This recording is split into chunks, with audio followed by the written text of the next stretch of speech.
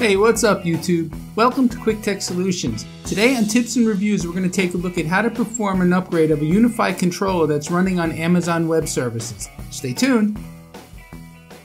Okay, I'm at UniFi's community blog page, and about two weeks ago they released the controller software version 5.4.14. Now, you guys know if you've seen my videos before, every time I do an upgrade video, I always start on this page just to go over some of the new information. So remember, always do a backup, read through all the release notes, there's good information there. But I really like you guys to focus in on the new features and the fixes from the recent version.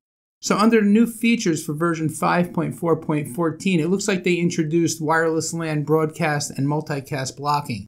I'm going to look into that a little bit further in the future and probably do a video on it soon. But from what I understand, it just pretty much allows you to tweak your wireless network and stop unnecessary broadcast traffic from happening on the wireless network.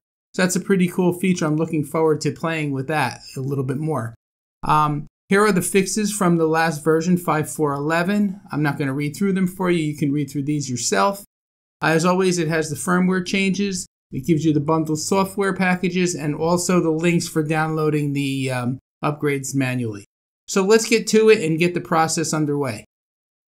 Okay, I'm at my controller's dashboard page. I'm already signed in as you can see. My controller, guys, is running on Amazon Web Services and I'm currently running version 5.4.11. So once we perform the upgrade, we'll be at 5.4.14, providing everything goes successfully. Before doing any upgrade, you know we have to create a backup, so let's do that now by going down to the lower left-hand corner of your UniFi controller, clicking on the gear or settings icon. Find the maintenance link and click on maintenance. Locate the backup section of the page and click on the blue download backup button.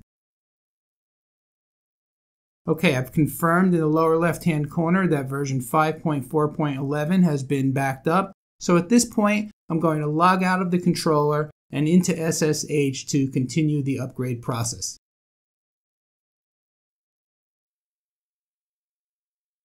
So I'm already signed into my controller via SSH. To start the upgrade process, I'm going to type sudo apt get update. And I'll put this command in the comments down below. But this command basically goes out and checks for any updates that are available.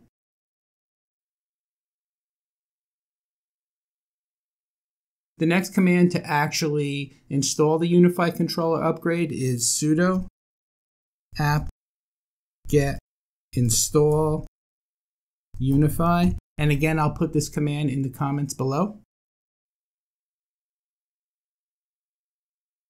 And now it's downloading the update.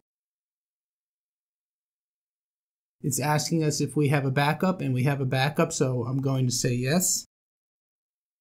And now the um, upgrade is happening. It's starting to install.